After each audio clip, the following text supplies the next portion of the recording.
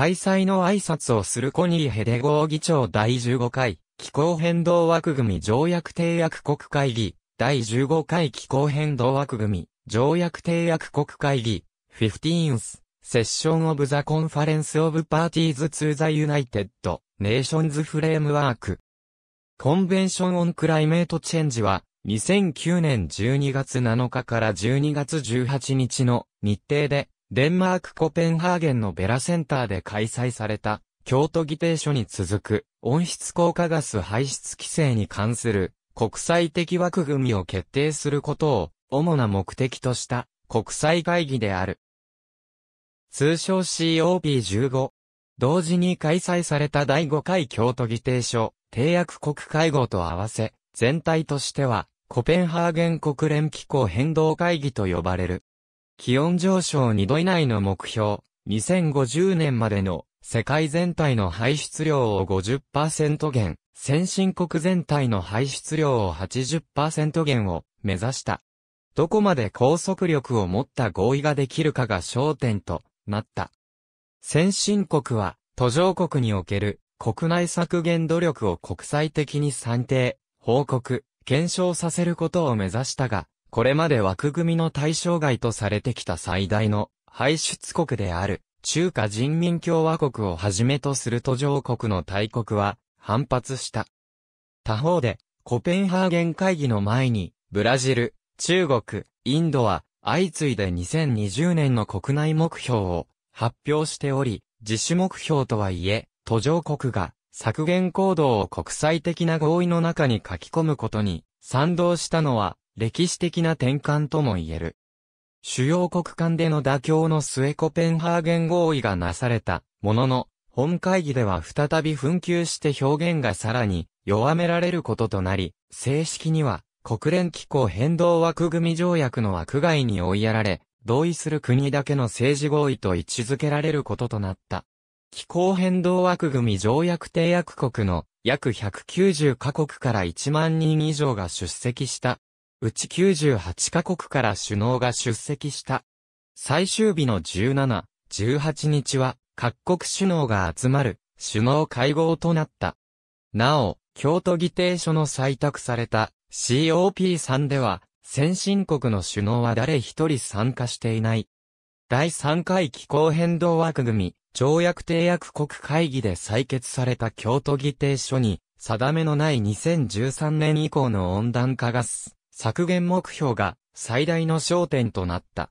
ラクイラサミットで、先進国は2050年までに温室効果ガス80%減と合意している。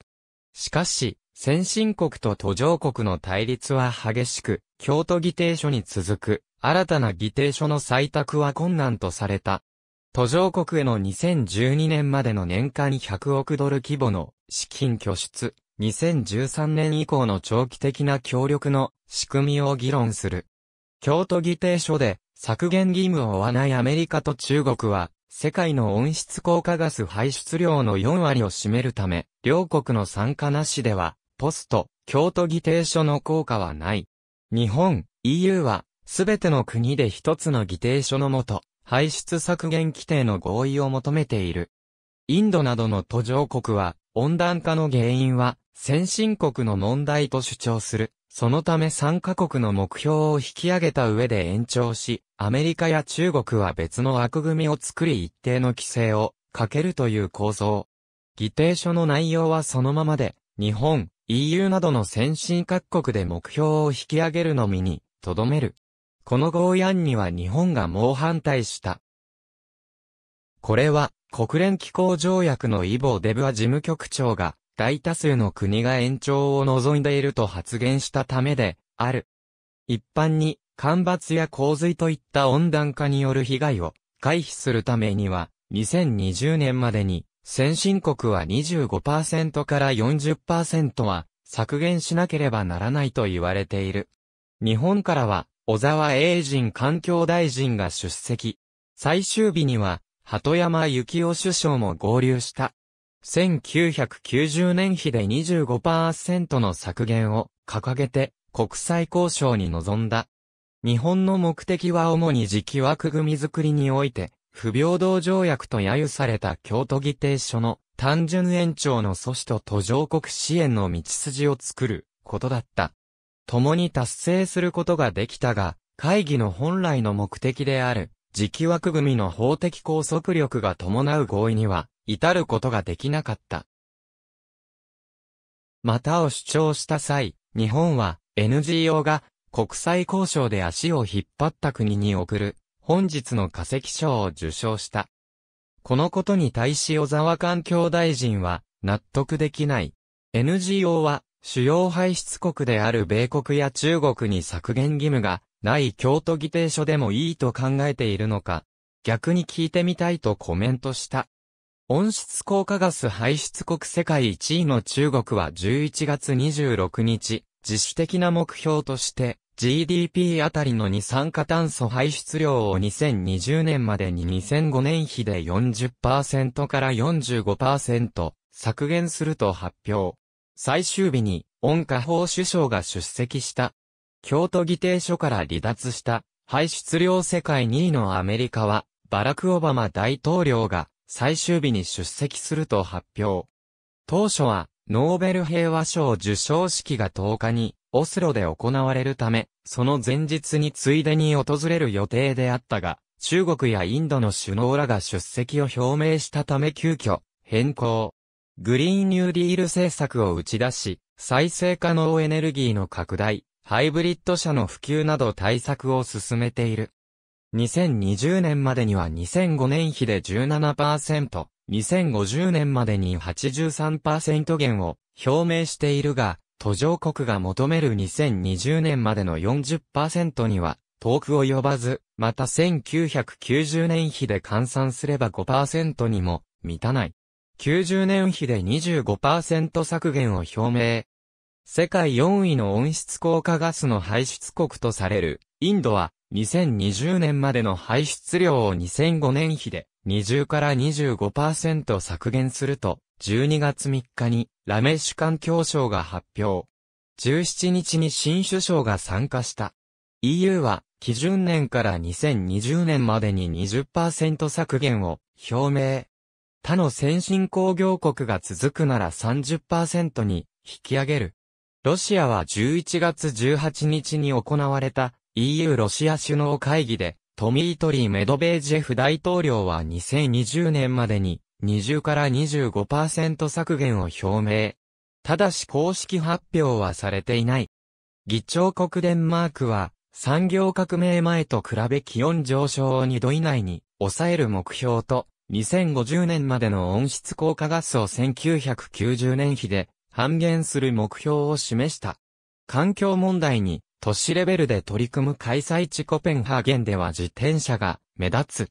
自転車専用レーンが街の至るところに整備され全長は 360km にも及び、自転車の速度に合わせた信号もある。一般の道路より近道になる自転車専用の橋までもあり、さらには自転車専用高速道路の開通も予定されている。すでに20%もの二酸化炭素削減に成功しており、実に会社通勤者の50%が自転車通勤であるとの統計が出ている。また、デンマーク売春婦団体は COP15 参加者を対象に無料で売春サービスを提供すると発表。コペンハーゲン市議会で審議中の販売売春条例案に対抗しているものとみられる。すでに京都議定書が定める12.5%の削減目標を達成したイギリスは、火力発電を使う際に排出される二酸化炭素を地下に貯留する二酸化炭素回収、貯留技術の導入を検討し、2020年までの削減目標を1990年比で34%削減目標を掲げる。温室効果ガスの新たな削減目標で合意を求めるデモが、ロンドンのアメリカ大使館近くで行われ、約2万人が参加した。オーストラリアは、世界全体で二酸化炭素濃度の水準を 450ppm まで安定させるか、それ以下にするために、野心的で世界的な取引に同意するならば、2020年までに2000年水準より二酸化炭素排出量を25%削減するとしている。また、大規模な発展途上国が大幅な排出抑制を約束し、先進国がオーストラリアに相当する責任を負うという合意があれば、2020年までに排出量を2000年水準より15%削減すると表明している。COP15 の議長を務めていた、デンマークのコニー・ヘデゴー COP15 担当省が16日、突然解任された。後任には、同国のラース・ロッケ・ラスムセン首相が引き継いだ。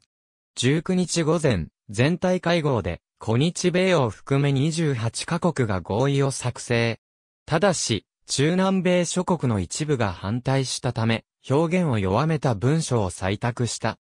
コペンハーゲンで行われた2009年国連機構変動会議に出席した各国元首、首脳、閣僚、その他の主席代表は気候変動枠組条約第2条に記載された究極の目標を追求し、条約の諸原則と条項に導かれ、二つの特別、作業部会の作業結果に留意し、長期協力行動のための特別作業部会、アドホック。ワーキンググループオンロングタームコーポラティブアクションに関する決定 X、CP15 及び付属書愛に掲げる締約国の京都議定書の下でのさらなる約束に関する特別作業部会に作業の続行を求める決定 X、CMP5 を承認し、即座に運用される本コペンハーゲン合意に合意した。我々は気候変動が現代における最大の課題の一つだと強調する。共通だが、差異のある責任という原則、そして各国の能力に即して気候変動に迅速に対処する強い政治的意志を強調する。大気中の温室効果ガス濃度を気候システムに危険で人為的な影響を避ける水準で安定化するという気候変動枠組条約の究極の目標を達成するため我々は地球の気温上昇は2度を上回るべきではないとの科学的な見解を認識した上で公平の原則と持続可能な発展の文脈において、気候変動に対処する、長期的な協調行動を強化する。気候変動の重大な影響とともに、対策が温暖化被害にさらされている国々に及ぼす、潜在的な効果を認識する。国際支援を含めた包括的な適用措置の事業を手掛ける必要性を強調する。我々は世界規模で排出量を大幅に削減する必要性で合意する。これは科学に基づくもので、国連気候変動に関する政府間パネル第4次報告書が記述したように、世界の気温の上昇を2度以下に留めるためである。科学に準じ、公平の原則に基づいてこの目的の達成に向けて行動することでも合意する。我々は地球規模と各国ごとの排出量ができる限り早く減少に転じるよう協力しなければならない。同時に、途上国では排出量が減少に転じるのにより時間がかかることを認識し、社会、経済発展と貧困撲滅こそが途上国の優先課題であり、低排出の発展戦略が持続可能な開発と切り離せないことにも留意する。気候変動の影響への適応措置と対策の潜在的な影響は、すべての国が直面する課題である。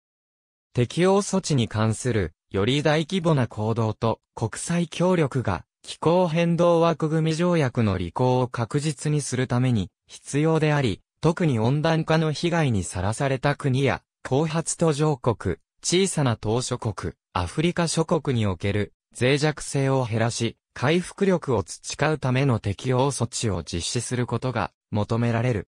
先進国は途上国における適用措置の実行を支援するため、適切で予測可能、かつ持続的な財政支援と技術、能力開発を提供しなければならない。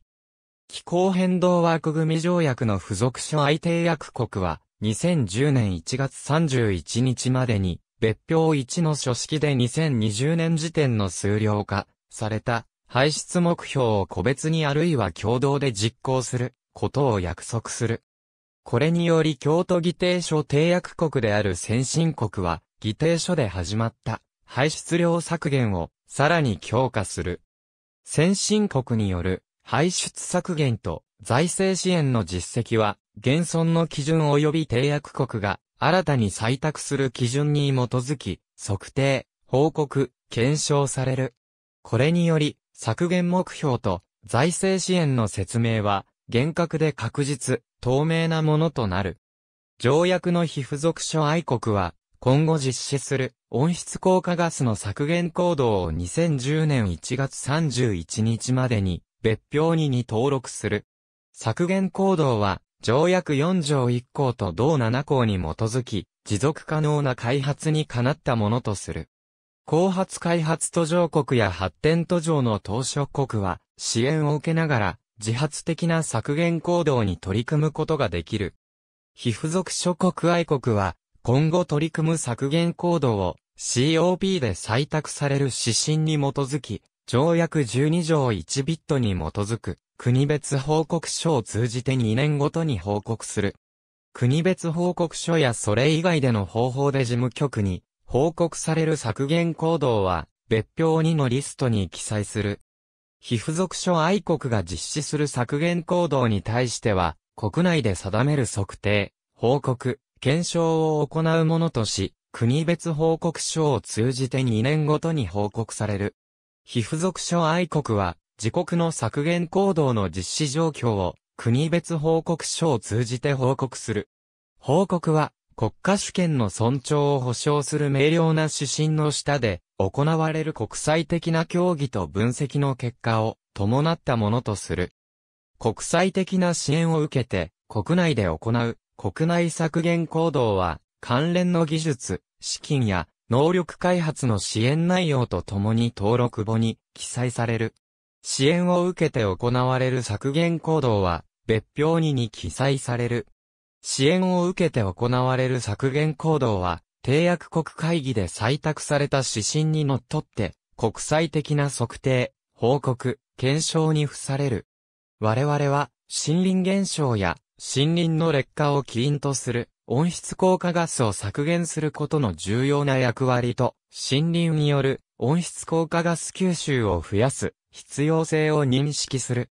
森林の減少や劣化を原因とする温室効果ガスの排出の削減を含むメカニズムの速やかな構築を通し、先進国の資金の活用を促す行動を促進する必要性に同意する。我々は市場を活用する方法を含めて削除の費用効果を高めて削減行動を促進する様々な取り組みを追求する。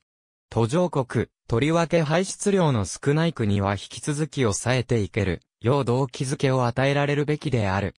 途上国には、増額された新規で予測可能で適切な財政支援を提供するとともに、資金の利用度も高めなければならない。条約の関連事項に従って、森林破壊を防ぐ取り組みレッドプラスや、適用措置、技術革新と移転、能力強化への実質的な財政支援といった措置を通じて、排出削減に向けた行動を可能にし、支持する。先進国全体で2010から2012年の間に新たな追加援助として計300億ドルの支援を行うことを約束する。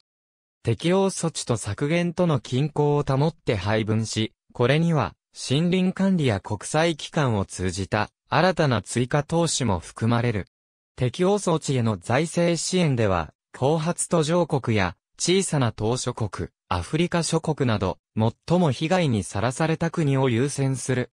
意義ある削減への取り組みと透明性のある実施に向け、先進国は2020年までに1000億ドルを拠出し、途上国の取り組みを支援する。この資金は民間や公的機関、二国間や多国間参加など、代替的な財源を含め、幅広く集められる。適用措置に向けた新たな多国間参加による財政支援は先進国と途上国が等しく代表する運営体のもと効果的で効率的な資金管理を通じて配分される。閣僚級会合は、この目標の達成に向け、代替的な財源を含む可能な歳入という、貢献を研究する目的で、締約国会議に対する責任として設立される。我々は、コペンハーゲン環境基金を、途上国に対する、レッドプラスや、適用措置、能力強化、技術革新と移転に関連した事業や計画、政策その他の活動を支援する、条約上の金融メカニズムの実行組織として設立することを決定した。技術の移転と革新における取り組みを強化するために、各国主導のアプローチと国の状況、優先順位に基づいて導かれる適用措置と削減の行動を指示し、技術革新と移転を加速させるため、技術メカニズムの設立も決定した。条約の最終目標を含め、この合意の履行状況の評価を2015年までに行うよう求める。これは長期目標強化の検討を含む。ありがとうございます。